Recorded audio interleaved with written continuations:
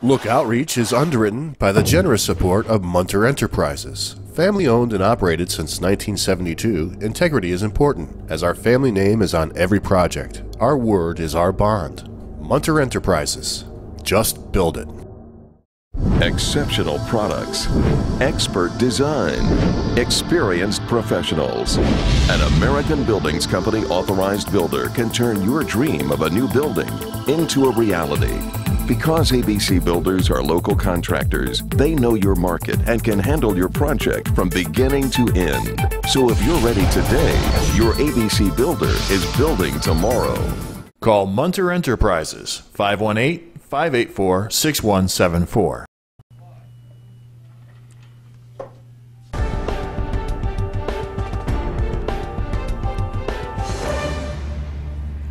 Welcome back, everyone.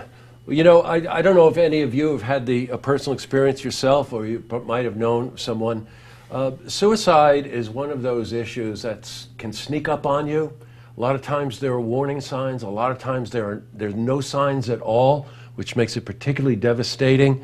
And uh, we thought it might be beneficial to bring on a couple of experts in this field to have a conversation about this, to talk a little bit more about the effects in our community, and also maybe some of the warning signs and the kinds of things you can look for if you're feeling this way yourself, or you may have a loved one or a friend who might be feeling this way. So joining me today is Dr. Michael Prezioso.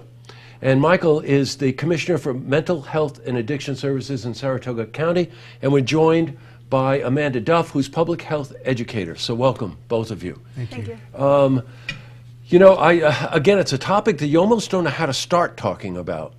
It's not something you hear about every day, yet when you do hear about it, you wish you knew everything about it. Right, Michael? Sure, sure. It's something that comes up for people, but it's also one of the things that people want to stay away from because it can be very frightening in a lot of ways. Sure. Uh, you know, in Saratoga County, is this a of what concern is this in Saratoga County? You know, interestingly, it's more of a concern, I think, than a lot of people would recognize. We actually have one of the higher rates in the state. We are disproportionately high in the rate of suicide, and so it's a concern for us. Um, just to sort of frame that in terms of numbers, Um, I would, uh, over the last two years, where we have data for um, 2015 suicides, we had 33 in the county. Oh, my God. Last year, 2016, we had 30. Right, and uh, as we were talking before we went on air, uh, it isn't just one socioeconomic group. It isn't one age group. It isn't one particular gender, right? Correct. So, uh, how how do you how do you frame that then? Could it be a child? Could it be somebody 12 years old? It could be anyone. You never really know who, you know, might be at risk for suicide. So it's really important to have those conversations and to also start talking about and create that awareness. Right, um, and you were saying to me, well, uh, it can happen as young as as a child, 12 years old. Absolutely, absolutely. Uh, kids are facing all kinds of pressures, and one of the things that you know is in discussion in a lot of places now is the impact of social media. Oh, and in, many ways, there's no escape for children from the pressures. You might have gone to school in the past and been the subject of bullying. Now there's no escape. Mm-hmm. Somebody's putting something on some website, some live stream, some post about you. You're talking about someone very young who may not have the coping resources of an, you know, an older person, and they're not quite sure how to get themselves out of it, feel overwhelmed, and you know respond in this way.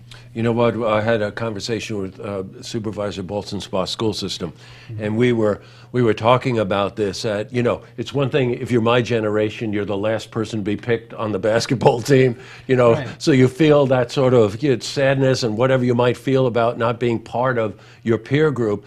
But with technology today, it's relentless. In the middle of the night, getting texts, getting all, all those kinds of information. And the other thing that we tend to think about today, right, um, Amanda, is that we tend to think because of the age we're living in that a 12 year old thinks like an adult. Correct. And they don't, right? No. No, they think very differently. And again, that's really why we want to start talking and even being aware of some of these signs that, you know, might eh, encourage you to just have that further discussion. Yes, right, sure. And we're going to talk about some of these warning signs in more detail. But as you move up the, the ladder in terms of age, and again, no particular sex and no particular economic background or any of these kinds of things, um, 50 year olds, right? Life has passed me by. I didn't get the promotion I wanted. That's right. Uh, one of the groups high, uh, who experiences suicide the most is actually middle-aged males, 45 to 64. Oh, I can see that. Uh, very disproportionately high rate of suicide, and there could be factors that are different than the ones that we just talked about. Lost my job, my relationship has changed, my kids have moved out, my finances are all different.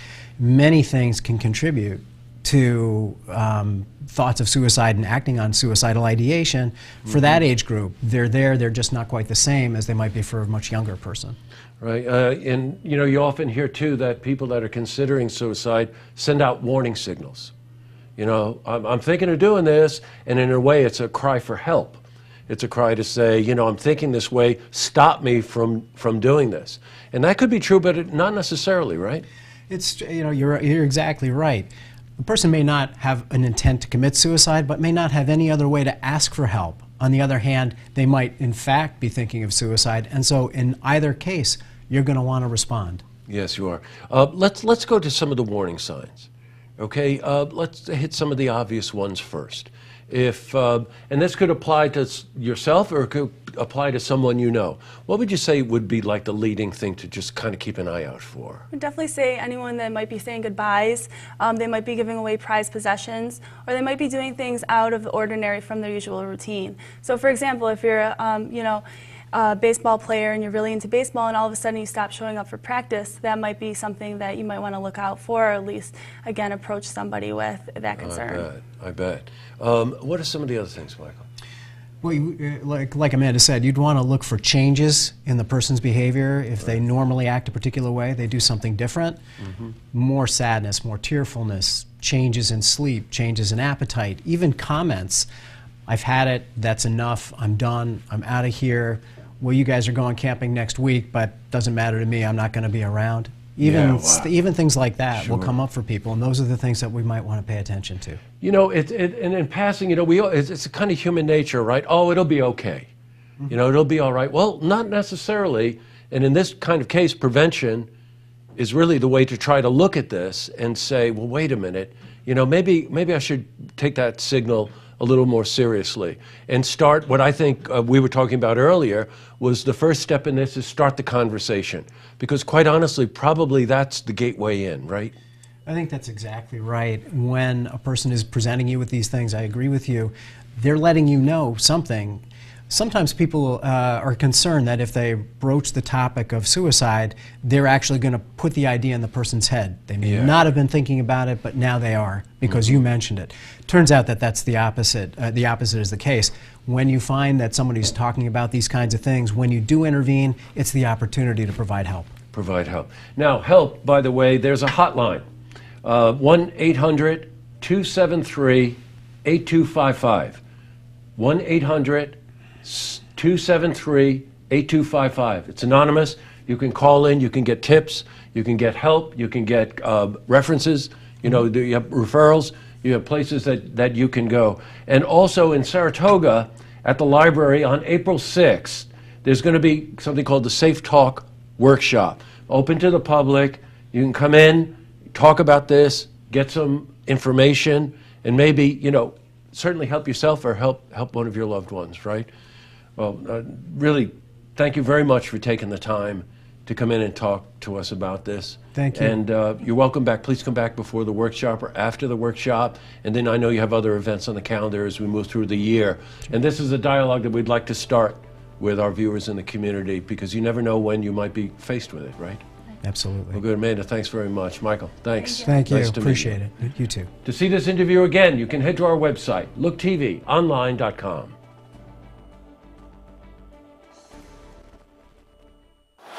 Look Outreach is underwritten by the generous support of Munter Enterprises. Family owned and operated since 1972, integrity is important, as our family name is on every project. Our word is our bond. Munter Enterprises. Just build it. Exceptional products, expert design, experienced professionals. An American Buildings Company authorized builder can turn your dream of a new building into a reality.